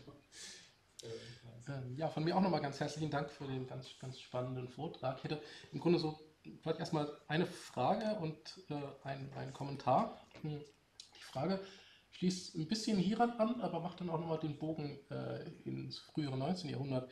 Und zwar inwieweit diese, ähm, ja, diese gewissermaßen privat ähm, etablierten Gesellschaften möglicherweise nochmal unterschieden haben in ihren Satzungen oder wie man es nennen möchte, etwa nach Nationalität oder Kultur, wenn wir jetzt vielleicht etwa in den Mittelmeerraum gehen, also in dieser Zeit, oder ob da vielleicht auch Unterscheidungen stattgefunden haben zwischen Seeleuten und Passagieren der, der Schifffahrt. Ähm, gerade in einer Zeit, in der vielleicht auch die Auswanderung ähm, stärker wird, also vielleicht tendenziell eher zweite Hälfte 19. Jahrhundert, aber äh, beginnt, ähm, dann auch vielleicht Ereignisse, wo man dann erstmals ganz klar ähm, zu sagen beginnt, äh, bestimmte eher vulnerable ähm, ja, Menschen an Bord müssen eben zuerst äh, gerettet werden. Ob das etwas ist, was man bei den Gesellschaften vielleicht sogar die Jahrzehnte früher auch schon beobachtet. Ja, das ist tatsächlich eine, eine interessante Frage. dieses äh, zusammen, der Zusammenhang mit der Auswanderung ist, finde ich, im deutschen Fall und auch im französischen Fall besonders stark nachvollziehbar, dass da tatsächlich also wird die, wird die Vereinsgründung mobilisiert und motiviert durch Verweis auf Unglücke von Auswandererschiffen. Ähm, und das kann man natürlich auch in, mit der gegenwärtigen Situation in eine irgendwie etwas unheimliche und unersprießliche äh, Art von, wenn man so eine schiefe Analogie bringen. Ich hatte das, glaube ich, sogar in, in einem der Teile, die, die ich gestrichen habe, dass, dass tatsächlich die Seenotrettung äh, in Europa zu einem unumstrittenen, allgemein akzeptierten Imperativ wird, wenn es äh, also in, in, einem Zusammenhang, wo es um die Auswanderung aus Europa geht und das eben problematisch wird, wo es um die Einwanderung nach Europa geht. Also das, äh, wenn, man, wenn man diesen historischen Bogen spannen möchte, kann man das auf eine gewisse Weise tun. Es, eben, also es gibt da Spannungen in dieser Art von, von Argumentation wahrscheinlich, ja, man kann das irgendwie auch leicht auseinanderbauen, aber ich glaube tatsächlich, dass da auch was dran ist, dass das, äh, dass das ein Aspekt ist. Man muss eigentlich auch dazu sagen, dass bei der Gründung der britischen und niederländischen Vereine in der Tat die Passagierschifffahrt und die Auswanderung keine große Rolle spielen. Das ist äh, in den 1820er Jahren kein riesiges Thema für die und die Passagierschifffahrt ist natürlich von der, von der Frachtschifffahrt zu dieser Zeit auch funktional noch gar nicht äh, stark getrennt. Ähm, also das sind tatsächlich Entwicklungen, die dann später mit der, insbesondere der Dampfschifffahrt und den anders gearteten Schiffen äh, äh, stärker werden. Ähm, so, jetzt waren noch weitere Aspekte in dieser interessanten Frage. Ähm, ja, etwa auch so ins, in den Mittelmeerraum gedacht in dieser ah. Zeit und vielleicht auch die, die Grenze zwischen Europa und mhm. dem äh, nordafrikanischen Raum, also in mhm. der Zeit vielleicht, wo ja auch Piraterie etwa ein Thema ist und mhm. ganz andere große, die Seefahrt betreffende Dinge, ähm, ob man das rausrechnet, diese, diese Seefahrt auch aus der humanitären Notwendigkeit, Menschen zu retten, oder ob das mitgedacht wird. Ja, ähm, also es ist tatsächlich, man, das gehört so ein bisschen zu dieser, zu dieser äh, Küstengewässerstruktur, die das hat. Und das äh, entsteht eben faktisch stärker in Nordeuropa in dieser Zeit, ähm, wo diese Pirateriefrage nicht so signifikant ist. Es ist tatsächlich aber sehr ausdrücklich im Ethos dieser, dieser also oder dieser, das Wort, aber in den, in den Richtlinien der Gesellschaft äh, festgelegt, ohne Ansehen der Person. Also man rettet äh, ohne Rücksicht auf Nationalität äh, und ohne Rücksicht auf äh, irgendwelche anderen äh, kulturellen Aspekte. Ähm, es gibt diese Gründungen teilweise auch im Mittelmeerraum. Also Spanien zum Beispiel hat in den 1830er Jahren eine aber nur lokal präsente Lebenshaltungsgesellschaft nach demselben Muster, wo meines Wissens auch kein solcher Unterschied gemacht wird. Die französische Rettungsgesellschaft wiederum expandiert, aber das ist schon in den 1860er Jahren äh, unmittelbar auch nach Algerien, also in die Siegerkolonie, das, das gibt es da schon, aber nicht in andere französische Kolonien, also auch das ist wieder, äh, wieder relativ typisch. Insofern ist es nicht so, dass das Mittelmeer in dieser Hinsicht dann so signifikant anders ist. Es ist wahrscheinlich so, dass man diese humanitären Aspekte auch in der Pirateriebekämpfung nachvollziehen kann. Das ist natürlich humanitäre Intervention, also, eine Art von militärischen Humanitarismus, der in dieser Zeit auch entsteht und der immer Überschneidung mit diesen zivilen, äh, zivilen Bewegungen hat auf eine gewisse Weise, aber es sind einfach sozusagen andere Anliegen ähm, und es funktioniert genau nach diesem Prinzip, dass es gibt halt irgendwie Kontakt und irgendwie Ähnlichkeiten, aber es gibt keine Abhängigkeiten. Ähm, und keine, keine Einheitlichkeit. Und dieser Piraterie, äh, diese Pirateriekriege, das äh, endet ja letztlich in den 1830er Jahren. Oder? Also das ähm, insofern verschwindet dann sozusagen die Relevanz für die Frage so ein bisschen aus der, aus der Geschichte dieser Seenotrettungsinstitution. Ja, danke schön. Äh, ich hätte noch einen Kommentar, kann den aber gerne zurückstellen. Kommentieren. ähm, und zwar ist mir eine, eine kleine eher qualitative als quantitative Sache aufgefallen. Und zwar, dass wir ähm, so um 1800 ist mein Eindruck in den schiffsmedizinischen Büchern auch erstmals so ganz ausdrücklich äh, eine Anerkennung der Leistung von Seeleuten haben und in der Folge für die Gesellschaft, auch an Land vor allem, was in den Einleitungen dann auch so formuliert wird und in der Folge dann auch ein Versuch, das, was man vorher einfach nur von Land auf See zu übertragen versucht hat, jetzt auf das Schiff selbst äh, abzustellen sozusagen. Also Schiffsmedizin wirklich für an Bord ähm, zu formulieren. Ähm, das fiel mir ein, weil Sie so ein bisschen auch, glaube ich, diesen, diesen Aspekt ähm, vielleicht auch des Abbaus von sozialer Distanz ähm, äh, erwähnt hatten. Ja, das ist, äh, ist äh, sicher bedenkenswert. Also ich finde faszinierend an den Seen- und Rettungsbewegungen eigentlich, dass ihnen offenbar nie der Gedanke kommt, dass sie auch zur Verbesserung der Arbeitsbedingungen und so weiter der Seeleute beitragen können. Also es gibt wohl Bemühungen zur Verbesserung der Sicherheit ähm, im Sinn von Gestellung technischer Hilfsmittel und solche Dinge, äh, die, die damit zu tun haben. Es die Notsignale und diese ganzen Sachen, das, also, wo auch viel Regularien passieren, aber es passiert eben relativ wenig äh, humanitäres Engagement für die äh, Verbesserung der Arbeitsbedingungen ansonsten. Das, das kommt dann später eigentlich, es andere humanitäre Bewegungen, die sowas machen. Und das bestätigt sozusagen mal wieder diese, diese Archipelstruktur, die das irgendwie hat. Und es passieren einfach sehr viele Dinge gleichzeitig und trotzdem muss man irgendwie damit umgehen, dass die dass es überall diese Non-Sequiturs gibt, sozusagen, dass die ja, so, so, so Abgründe zwischen den institutionellen Strukturen. Und das, äh, ja, also es ist die, die Beobachtung ist, glaube ich, völlig richtig. Ähm, aber es gibt eben auch diesen, diesen anderen Aspekt, der, der mir irgendwie wichtig ist. Okay, danke. Katharina Roth. Ja, herzlichen Dank für den sehr schönen Vortrag. Ich habe leider äh, den Anfang nicht mitbekommen und insofern ähm, vor diesem Hintergrund ist dann noch meine Frage zu werden, äh, eventuell. Ähm, ich finde ähm, den Aspekt der Verrechtlichung, äh, den Sie genannt haben, sehr spannend und ähm, äh, Bezug nehmend auf diese internationalen Rechtstexte wie United Nations Convention of the Law of Sea ähm, oder eben auch andere Texte, die ich, also ich habe mich mit Arbeitsbedingungen von Arbeitsschutz, Arbeitssicherheit, Arbeitsbedingungen von Seefahrern auch auseinandergesetzt in meiner Forschung. Und da ist ja auch so ein Text wie die Maritime Convention zum Beispiel ausschlaggebend. Aber das sind halt äh, vor dem Diskurs der, des Meeres als lawless Lawless Sea und ähm, äh, welche Territorien und wann gilt das Nationalrecht und solche Dinge. Ähm, würde mich einfach interessieren, ähm, weil es auch immer, also bei den aktuellen Rechtstexten darum geht, welche Staaten das ratifizieren und ähm, welche Kontrollinstanzen wo auch wie eingesetzt werden. Ähm, also zum Beispiel bei Arbeitsbedingungen an Bord gibt es, gibt es ja Hafenkontrollinstanzen zum Beispiel, die das dann ähm, mit bei und auch Gewerkschaften, die das irgendwie oder Missionen, die das mit, mit ähm, äh, genau mit ähm, berücksichtigen müssen. Ansonsten ähm, ist es nämlich so, dass es in der Praxis äh, noch ganz anders aussieht, wie es in so einem internationalen Text ähm, ähm, dargestellt wird. Oder, und da wollte ich mal fragen, wie diese Kluft zwischen der Verrechtlichung und der wirklich praktischen Umsetzung, wie Sie das, Sie da in Ihrer Forschung äh, das irgendwie in gewisser Form ja, gefunden haben. Ich glaube, das, das Rettungswesen selbst betrifft es vielleicht weniger stark, weil die Regelungen zur Rettung ziemlich rudimentär sind. Ne? Also es gibt eigentlich erstmal nur die Pflicht für, für Küstenanrainerstaaten Rettungsdienste vorzuhalten und es gibt eben diese Rettungspflicht der Schiffsführer ähm, also das sind zumindest was, was UNCLOS und so angeht, sind das nicht die einzigen Bestimmungen. Mhm. Ähm, und ähm, es ist interessant, dass die, ähm, die privaten Rettungsvereinigungen aus dem, aus dem 19. Jahrhundert zum Teil fortbestehen. Die nebenstaatlichen Institutionen bestehen meistens heutzutage.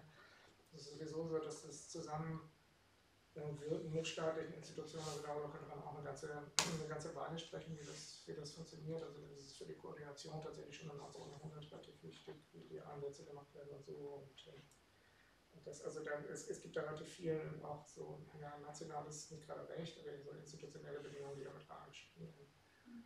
Ähm, und dann ist es natürlich so, dass die küstenbasierte Rettung zunächst mal von territorialen Gewässern ausgeht und häufig territoriale Gewässer betrifft. Also das ist dann gar nicht mal eine Frage des internationalen äh, Seerechts. Ähm, das dann eher diese Hochseefragen betrifft. Ähm, mein interessant, ich, ich, kann die Frage wahrscheinlich nicht so direkt beantworten, wie, man, wie ich gern würde. Ähm, interessant ist sicherlich der Aspekt der Extraterritorialität von Rettungsbooten auf hoher See da gibt es ja diese Kannibalismusfälle und die Frage, wie das dann im späten 19. Jahrhundert äh, inkriminiert wird in Großbritannien. Ja, gibt es ein berühmtes Buch von Brian Simpson darüber, ich weiß nicht, kennen Sie vielleicht Cannibalism and the Common Law.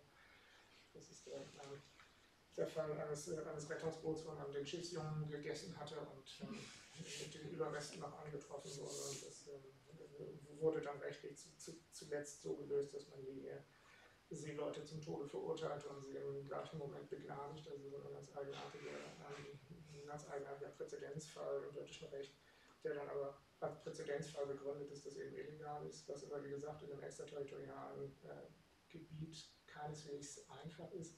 Es gibt eben interessanterweise, wenn man die Rechtspraxis schaut, gibt es das doch viel, dass die, also gerade die gewohnheitsrechtliche Tradition eben einfach häufig in diese extraterritorialen Räume auch eingreift, um einfach irgendwas zu machen. Nicht? Und ähm, ja, das, das, ist dann vielleicht schon so ein bisschen in die Richtung. Ähm, das kann man aber im 19. Jahrhundert auch schon sehen. Also da gibt es allerlei Fälle. Ja. Mhm. Dr. Ronzo, dann hatte ich mich auf die Liste gesetzt und Alexander. Ja, ähm, ich möchte mich erstmal total bedanken für ähm, die genealogischen Stränge und auch Kontinuitäten, die ja aufgezeigt wurden. Bin auch dankbar um den Blick in die Gegenwart. Meine Frage hätte sich sonst auch oder richtet sich auch dahingehend. Ähm, ich bin noch nicht ganz sicher, wie ausformuliert die ist, aber ich bin das erste Mal so gestolpert bei Kant und also ich kenne die Passage nicht. Und sie sagten, dass das dann das, diese, das Gebot also dass es kein Gebot der, der Selbstaufgabe gibt oder der sich selbst in Gefahr bringt und das davon aber abgesehen wurde. Jetzt ist aber genau das ja sozusagen eigentlich das Motiv, auf das sich bezogen wird, ähm, wenn flüchtende Menschen nicht gerettet werden. Ne? Also es ist ja sozusagen, man beruft sich ja auf die Sicherheit Europas und dass man das nicht schafft, also dass man sich irgendwie aufopfern würde für die Flüchtenden. Ähm, und es in dem Sinne ja auch eine Kontinuität und ein Zurück zu Kant gibt in dem Sinne. Das ist jetzt ein bisschen schwer, weil ich die Stelle nicht kenne, aber ich mhm. fand, also ich bin darüber gestolpert. Würde einmal fragen, ob Sie dazu mehr sagen können. Ähm, das Zweite, was ich total interessant fand, war sozusagen die ähm, die Räumlichkeit ähm, mit den imperialen Räumen, die sozusagen, wo es keine Seenotrettung gab oder die anders gehandhabt wurden, die nationalen Räume und dass sich das ja auch vorzieht bis heute. Ähm, und da die Parallele zu dem zu so abolitionistischen Bewegungen, das war mir gar nicht so klar. Da möchte ich erstmal einfach einen Dank aussprechen. Ich glaube, ich habe da noch nicht so direkt eine Frage zu, bin aber wirklich auch im äh, Bezug auf so Theorien wie von Henrike Kopeis, die gerade irgendwie mit so einer Affekttheorie der bürgerlichen Kälte ja auch wieder Sachen anspricht, die sich da zeigen. Ich, ich finde es einfach wahnsinnig interessant. Ähm, aber genau, zu Kant würde ich einfach, glaube ich, gerne nochmal fragen, ob es da so, ein, so einen Umkehrmoment gibt. Mhm. Also ich würde ihn, glaube ich, ein bisschen davor in Schutz nehmen, ähm, sozusagen so ausgelegt zu werden, dass man jetzt jede Art von Belastung die einem durch die Rettung entsteht, als ähm, Zumutung äh, und nicht moralisch geboten ansehen würde. Das ist sicherlich nicht der Fall. Bei ihm geht es tatsächlich um die Frage des Lebensverlusts, ähm, also der Lebensgefahr des Lebensverlusts. Ähm, und das ist für Kant so eine, so eine Sache der einfachen moralischen Widersprüchlichkeit, in dem Sinne, dass äh, man nicht moralisch handeln kann, wenn man nicht lebt. Also das ist, das ist wirklich so auf eine gewisse Weise gedacht.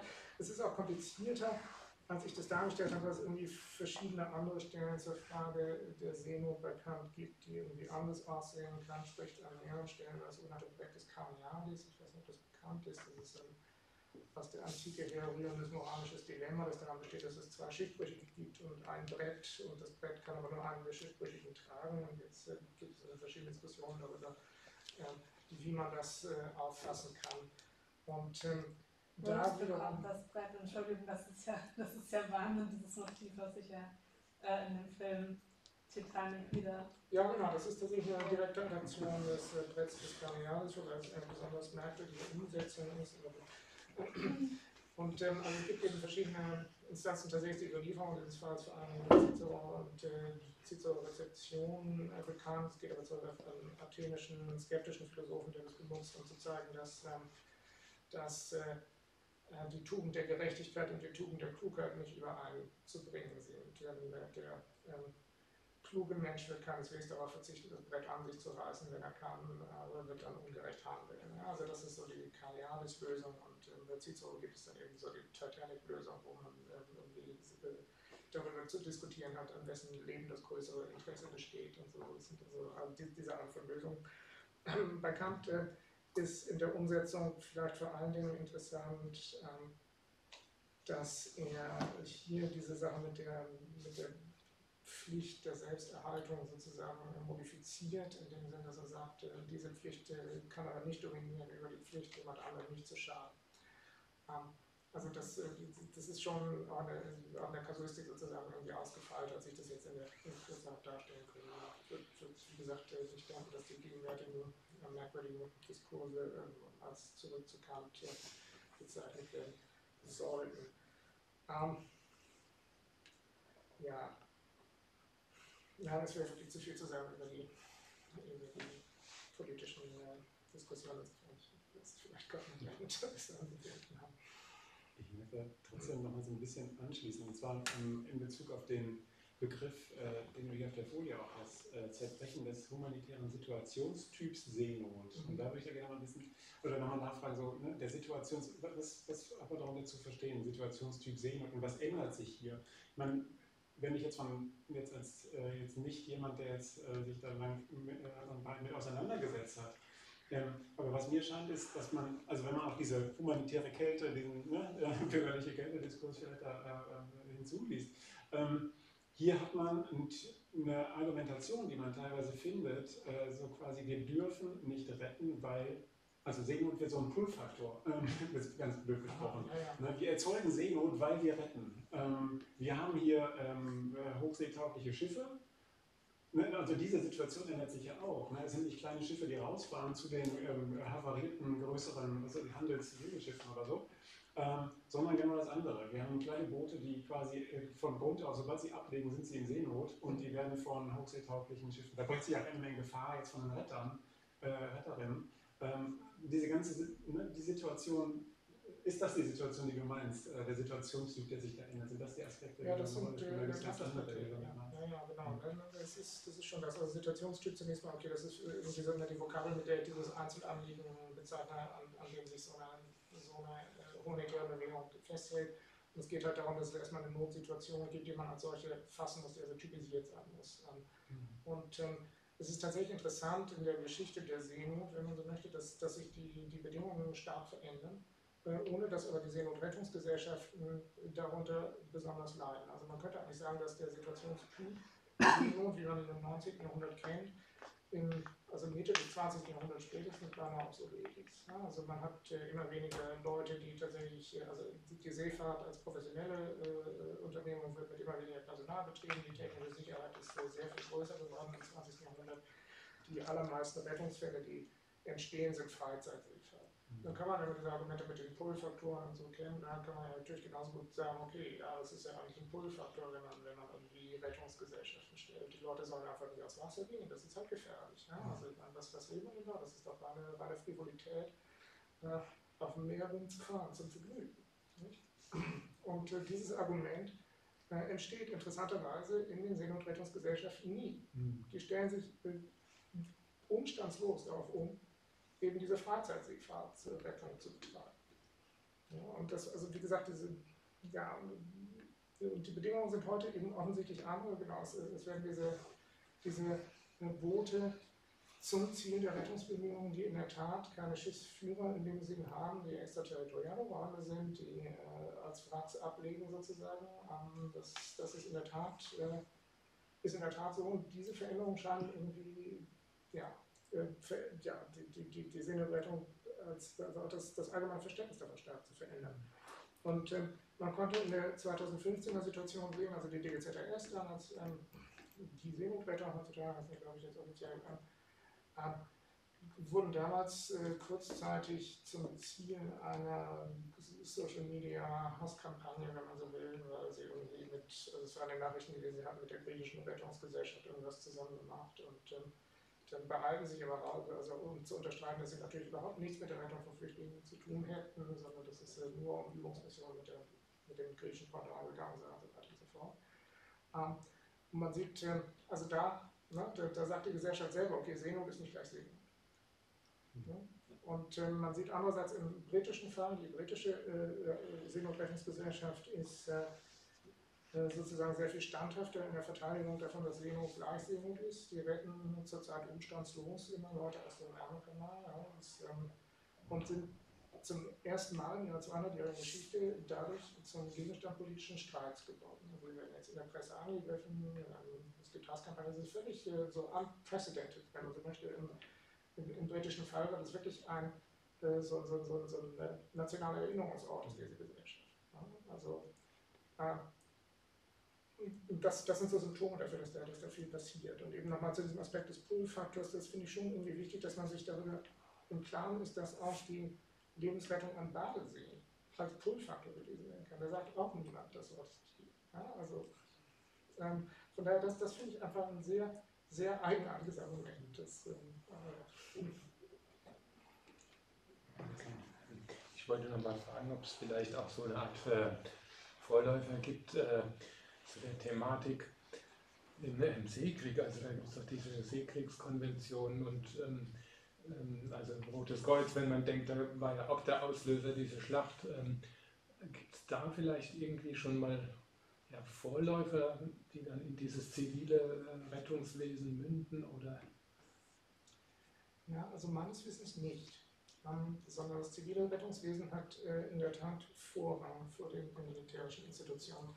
Also es ist auch so, dass man für die Geschichte von Humanitarismus allgemein, man trifft häufig irgendwie diesen Topos an, es entsteht eigentlich mit der Gründung des Roten Kreuzes in den 1860er Jahren für und so weiter und so weiter. Äh, also eben im militärischen Kontext, wo es um die Versorgung der Verwundeten geht. Und äh, also es gibt eben diese, diese, diese starken Prioritätsbehauptungen, der sozusagen, es kommt aus dem Krieg. Ja? Und ähm, ich habe so eine gewisse Abneigung gegen die Art von Geschichtsschreibung, in der der Krieg der Vater aller Dinge ist, sozusagen. Deswegen äh, würde ich dieses zivile Argument tatsächlich auch äh, zu verteidigen versuchen. Nun ist es so, vielleicht weiß ich einfach irgendwas auch nicht. Also ich äh, bin auch gern bereit, äh, darüber Neues zu lernen, sozusagen. Ja. Man hat sich da nicht irgendwie Gedanken gemacht, wenn eine Seeschlacht war, was dann mit den Leuten, die also, nicht schwimmen konnten, passiert, oder? Nein, es gibt, ähm, es gibt es in der Ikonografie interessanterweise. Da taucht es auf in den äh, Schlachtgemälden zu Trafalgar zum Beispiel. Kann man sehen, dass da und, und auch zu anderen Seeschlachten aus dieser Zeit, dass da das Motiv der äh, Rettung aus dem Wasser im Vordergrund präsentiert wird. Äh, über die Praxis, muss ich sagen, weiß ich da dann zu wenig, um da wirklich was dazu sagen zu können. Da geht es häufig darum, dass man die eigenen, eigenen Seeleute rettet. Das wird auch so dargestellt. Und dann gibt es bei, bei, bei William Turner interessanterweise, in der Zeit, als die Seenotrettung schon existiert, also in den 1820er Jahren, kann man beobachten, für so ein großes Trafalgar-Gemälde, das größte von Turner vorhandene Gemälde, das im, im National Maritime Museum in Greenwich hängt, wenn man mal da hinkommt. Das ist wahrscheinlich das einzige Objekt, das sich da anzusehen lohnt, jedenfalls. Ähm, ähm, ähm, da sieht man plötzlich, aha, jetzt gibt es das monetäre Rettungsmotiv, man kann nicht mehr erkennen, wer da wen rettet. Das, na, also, beziehungsweise es gibt, und es, es gibt ein Pendant, diese Mail von, von de, de Luther Buch, ähm, wo es darum geht, dass die Engländer die Franzosen retten. Also da gibt es auch schon diese Art von Großzügigkeit, die dann irgendwie aber ostentativ, äh, na, also wir sind überlegen, klar, Engländer weil ich und so. Also diese, diese Art von, von Resonnement findet dann in der Bildtradition irgendwie schon statt. Also da, dazu kann ich zumindest dies sagen. Wie gesagt, über die Regularien weiß ich zu wenig. Das äh, ist vielleicht ein guter Hinweis, dass ich mir das nochmal äh, anschaue. Ich finde das auch gesellschaftlich und politisch sehr interessant, dass man da so private Initiativen hat, die dann Infrastrukturen schaffen, von denen wir heute sagen würden, sind staatliche Aufgaben. Es gibt ja auch die Feuerschiffe, die auch in dem Zeitraum ungefähr aufkommen. Und äh, dann geht es noch einen Schritt weiter, dass man das dann plötzlich fordert, dass der Staat es dann auch übernimmt. Also das finde ich auch ganz interessant, wie, wie sich das entwickelt oder ob das vielleicht auch eine Form von bürgerlicher Emanzipation sein kann. Ja, ich glaube, das ist äh, zum Teil sicherlich der Fall. Und gerade in dieser niederländischen Situation ist es eben auffällig, dass es da diese Spannung zwischen dem äh, Königtum und diesen Gesellschaften gibt. Ähm, deswegen habe ich da das ja auch ein bisschen rausgestellt. Ähm, muss man auch sagen, interessant an den Seenotrettungsgesellschaften ist auch, dass sie nicht rein bürgerlich sind, sondern sie sind darauf angewiesen, dass die Rettungsfreiwilligen diese Arbeit auch machen. Ähm, und das bedeutet, ein ein Ausgriff über diese sich emanzipierende soziale Schicht hinweg, der äh, kompliziert ist für die. Das muss man, muss man auch in Rechnung stellen. Und es ist natürlich auch ein, ein Ausgreifen in Teile des, äh, des nationalen Territoriums sozusagen, die keineswegs als naheliegend empfunden wurden, sondern es sind häufig irgendwie weit abliegende Gegenden, denen man irgendwie den zivilisatorischen ähm, Zustand sozusagen nicht, nicht wirklich zugestehen möchte. Ne? Also es gibt da sehr viel sehr Negatives über die Küstenbevölkerung, das immer behauptet wird, eben auch die Sache mit dem Strandrecht, die, die im Übrigen auch sehr interessant ist, das Phänomen, ähm, weil das äh, auch, auch das eigentlich ein Gerücht ist, dieses Gewohnheitsrecht. Ähm, ja, also das ist äh, rechtlich gesehen eigentlich eine klare Sache. Das hat der Landesherr hat das Anrecht auf das Antreiben Gut, ähm, und zwar fast überall in Europa gleichermaßen ähm, und das wird auch beansprucht.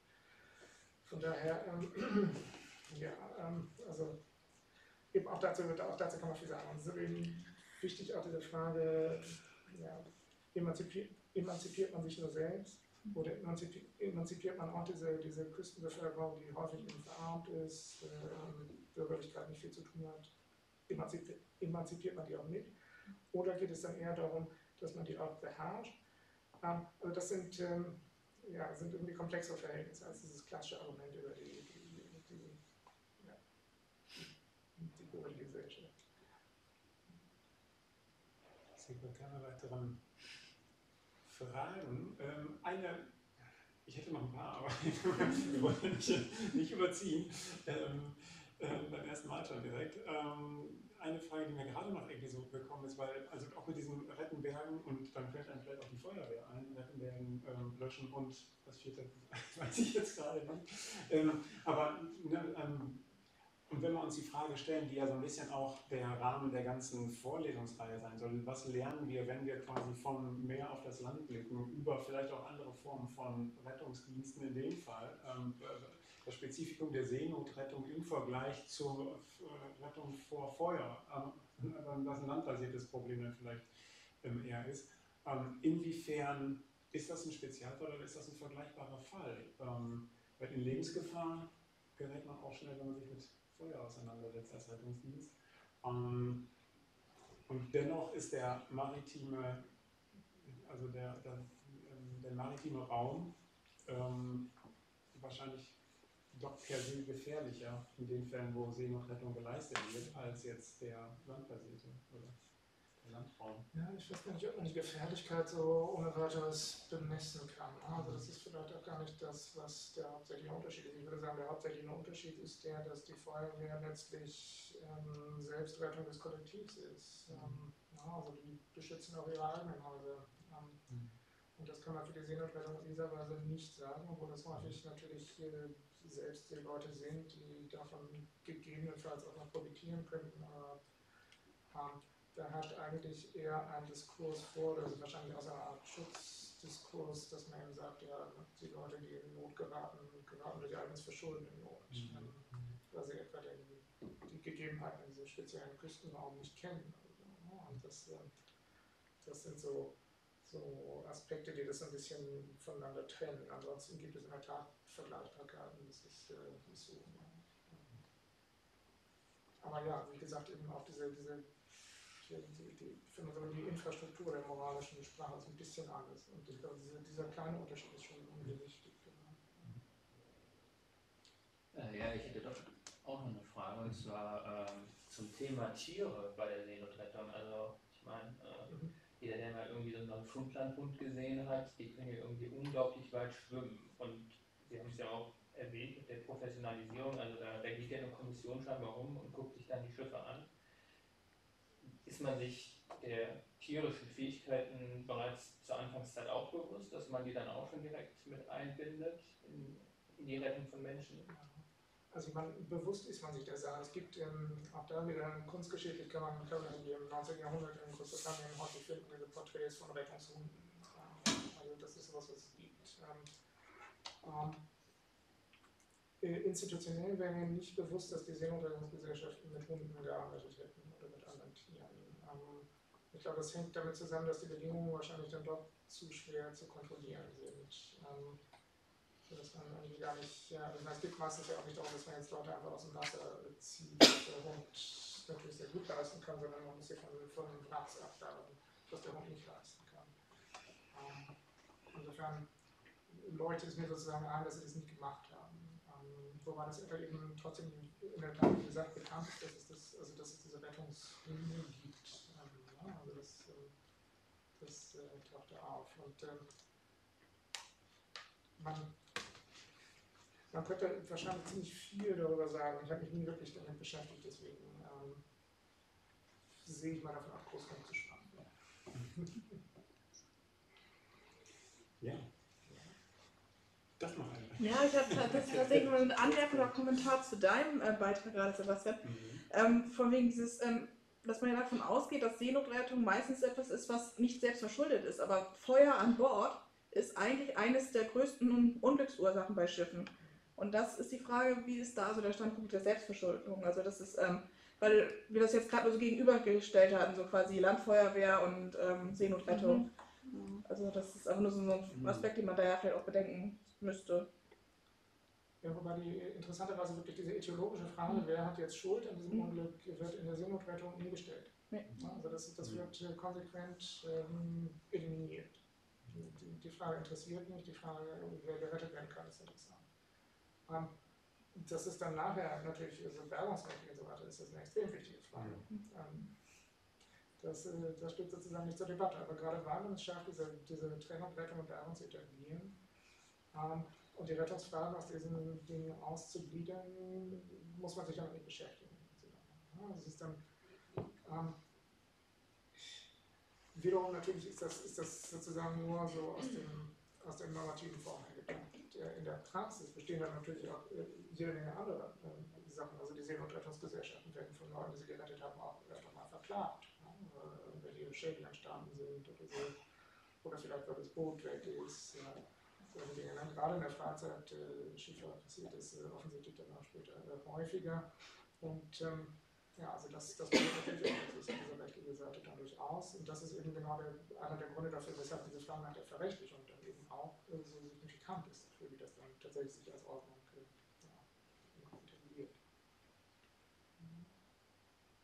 Ja, wir, der Diskussion ist oft so, dass man einfach machen muss, die Zeit rum ist und nicht, weil das Thema ähm, abschließend behandelt oder diskutiert worden wäre. Ähm, Henning Dritter, wir danken dir. Ähm, ganz, ganz herzlich für die Zeit und für, die, ähm, ja, für das riesengroße Spektrum, was du aufgemacht hast mit, mit deinem Vortrag ähm, an Themen, die wirklich auch ähm, ja, nicht nur betreffen, sondern auch betroffen machen und ähm, ganz, du hast gesagt, ganz tolle ähm, genealogische Linien dann auch ähm, äh, legen in Bezug auf die Entwicklung von maritimen Institutionen, in dem Fall maritimem Recht, ne, was sich hier verschränkt und ähm, ja, für ein ganz tolles Thema, mit dem wir heute den Aufschlag dieser äh, Reihe machen durften. Es geht weiter am 10.10., .10., ähm, also genau in vier Wochen, ähm, mit einem zweiten Vortrag. Und äh, du bist natürlich herzlich eingeladen, dich dazu zu schalten und zu gucken, wie es weitergeht. Eberhard Sauter vom ABI ähm, und der äh, Hochschule Bremerhaven wird zu uns sprechen in dem, äh, an dem Termin mit einem Vortragstitel, der sich nennt Ships of Opportunity, Beiträge von Nicht-Forschungsschiffen zur Meeresbeobachtung. Also anderes Thema, natürlich auch ähm, anderer Kontext, jetzt äh, äh disziplinbezogen, ähm, aber ähm, wahrscheinlich weniger interessant.